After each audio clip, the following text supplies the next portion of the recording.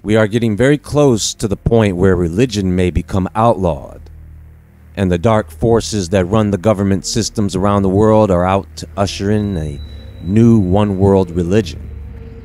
So I want to take a brief moment to explain something to everyone. And this is something that may not be very apparent to most people at this moment in time. There is a plan, there is an agenda.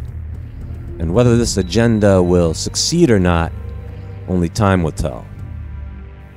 Many people, because it's been quite some time, well, not that long, but it's been a number of years, have forgotten all about this alleged plan by the elites to form a one world government.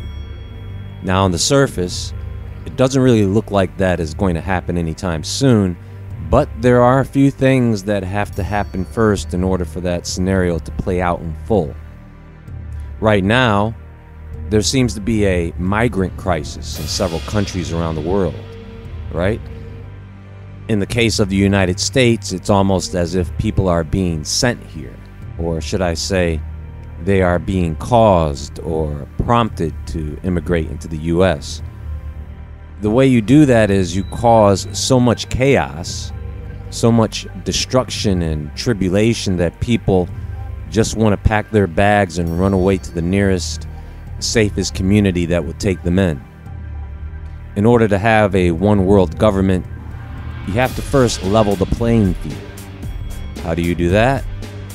Well, you level everything off economically, you level everything off morally, and then you do something that many people around the world hold at the highest value. You take away their God.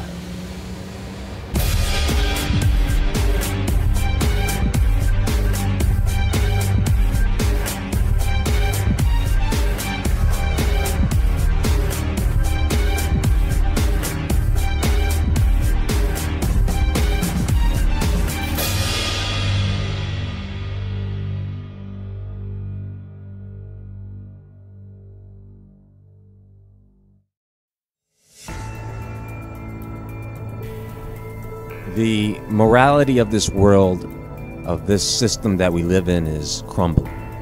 And we've come a very long way, not only from ancient times, but in modern times as well.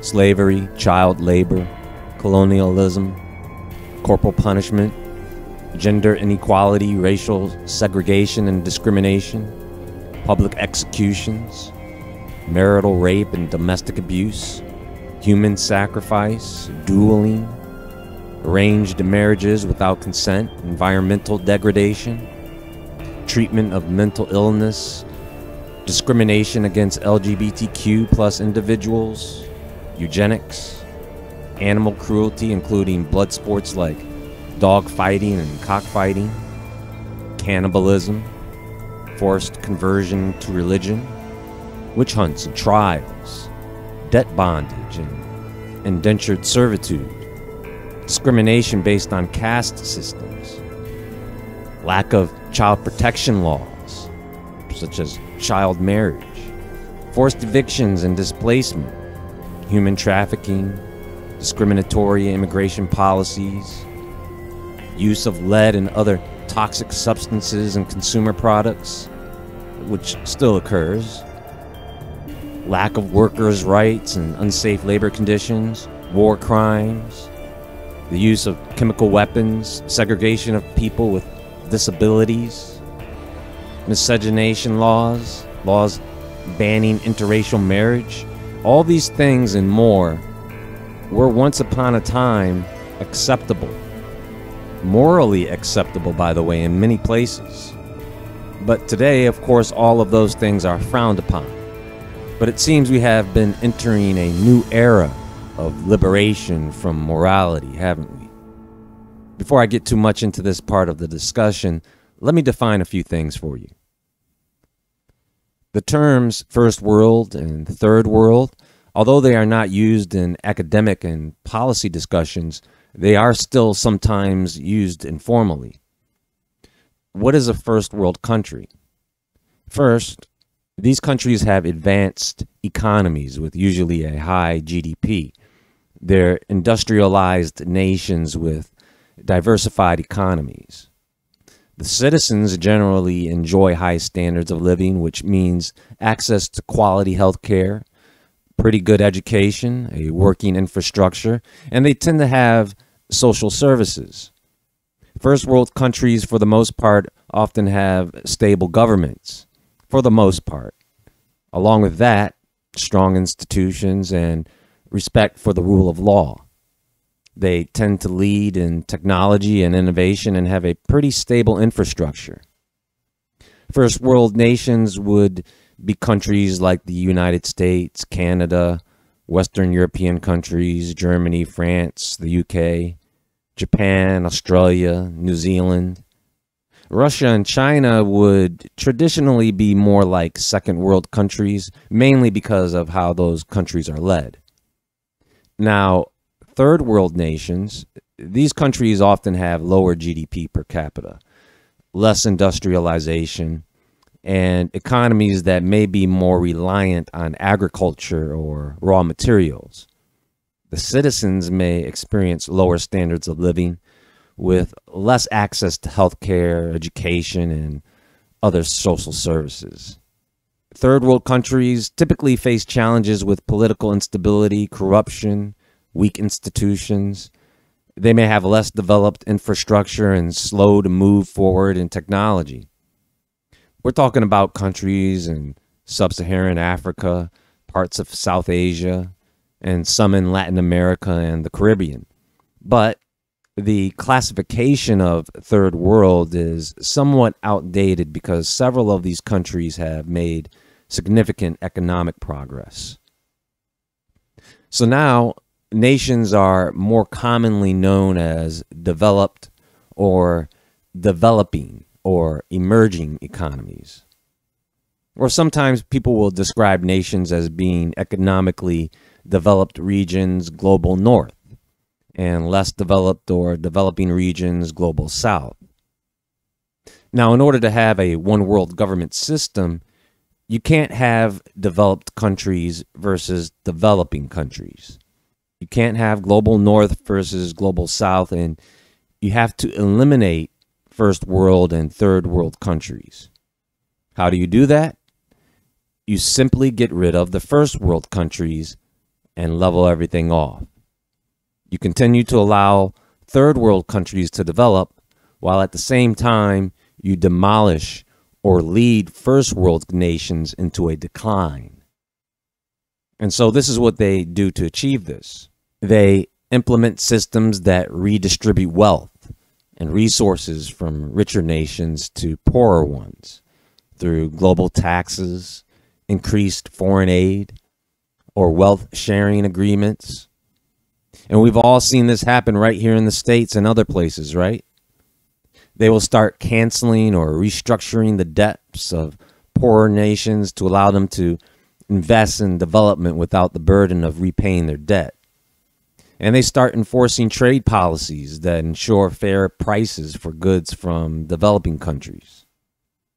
Now, when it comes to education and healthcare, instead of implementing worldwide programs to provide access to quality education for everyone, ensuring that every individual has the opportunity to learn and develop skills, they just leave that one alone and let everyone stay ignorant.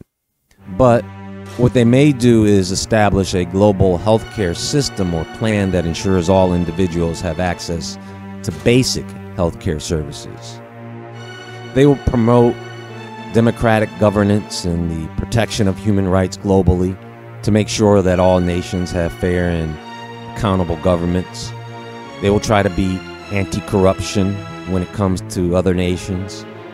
On top of that, they'll start enforcing laws and policies that promote gender equality, protecting minority rights, and the idea of equal opportunities for all social groups. One of the things they have been developing and implementing are global agreements to combat climate change, with wealthier nations bearing a greater share of the burden to help poorer nations adapt and develop sustainability. That's all part of a bigger plan. They'll start investing in global infrastructure projects like transportation, energy, communication networks, right? They want everyone to be connected to the internet, right? What they will also do is take technology and transfer it from developed nations to developing nations, which allows those countries to skip over certain stages of development and improve their economies and living standards. They want to give more power over to the United Nations to enforce global standards for things like equality, human rights, sustainable development. You see, and at the same time, they bring in this concept of global citizenship, where nations prioritize global well being over their own national interests to make everyone feel like they have a shared responsibility. We see that happening, don't we? In case you were wondering why they keep giving other countries money while people here go homeless, it's all a part of a plan. They try to manage population growth. They reform institutions like the International Monetary Fund and the World Bank to better serve the needs of developing countries with policies that promote inclusive economic growth. And eventually, they will try to go forward with a global currency or a universal basic income system that ensures a minimum standard of living for all people worldwide. They may try using crypto for this. Then you have open borders and migration policies that create more flexible and humane immigration that allows people to move freely in search of better opportunities, helping to balance economic disparities. But that puts a greater burden on the citizens in developed nations. They won't do it willingly, so they will make people do it by starting wars. And as a result, they start creating global support systems for refugees and displaced persons, asylum seekers, ensuring their rights and access to opportunities in host countries sometimes giving them free money and free food, sometimes way more than what the average citizen in those countries can get. Again, it's done on purpose. Finally, and this is the hardest part, because this is what people hold to the highest value. They make it so that people having their own religion is a problem. Religious persecution has happened many times before, and Several leaders have attempted to ban these practices due to conflict. They want to get people to believe that without religion, then we wouldn't have all these international and cultural conflicts, you see? They'll convince everyone that the goal is to reduce religious conflicts. They want people to see religious beliefs as obstacles to scientific progress, particularly when religious doctrines contradict scientific evidence. A world without religion might see fewer barriers to the advancements of science and technology. Instead of people following their religious doctrines, they will try to convince people to adopt more universally based morality on secular humanism, emphasizing reason, empathy, and a shared understanding of human rights, which leads to more inclusive and equitable societies, and it also leads to more degenerate societies as a result. But they don't highlight that part. You just have to deal with it. There would be more of a separation of church and state, but you have more secular governments and policies that are not influenced by religious interest, you see? And the problem with this is religion is deeply intertwined with culture, art, music, and traditions. A world without religion might result in the loss of rich cultural heritages, rituals, and practices that have shaped societies for centuries. Religion often provides a sense of community and belonging. Without it, some people might struggle to find a similar sense of social support and shared identity. One big thing is that religion has traditionally been a source of moral guidance for many people. Without it, there could be uncertainty or disagreement about what constitutes right and wrong. leading to moral relativism. What we used to believe was wrong, people will start saying, oh, well, it's not wrong anymore. Understand a lot of charitable organizations and humanitarian efforts are driven by religious motivations. In a world without religion, these things might go away, potentially leading to reduced support for vulnerable and disadvantaged people. But I guess they have another plan for them, anyways. Religion provides a sense of meaning, purpose, comfort in life, especially in the face of suffering, death, questions about life. Without religion, some people might experience a sense of emptiness or existential crisis. The absence of religion might lead to the rise of new ideologies or belief systems that could be equally dogmatic or divisive, potentially filling the void left by religion with other forms of social or political extremism, like the beast system. They have a bunch of movies that illustrate this, don't they? One of my favorites is Equilibrium, where they outlawed people having feelings or emotions. So they forced everyone to take a certain drug that suppressed those feelings. The impact of a world without religion ultimately the positives and negatives would vary depending on individual and societal context and the transition to a world without religion would likely be complex, but it would not end well, I can tell you that. Eventually, we would end up in a society that was just like the days of Noah, where only just a handful of people still knew God. Well, that's all for now, and there is more to come. I do have a recommended video for the day. Watch that video, it will be linked on screen at the top right corner of this video and in the description box and pinned comment below please hit the thumbs up button, leave a comment, and subscribe so you don't miss the next video. Everyone have a great day. Take care, folks. And as always, friends, stay awake, stay aware, stay safe, and I'll talk to you all soon.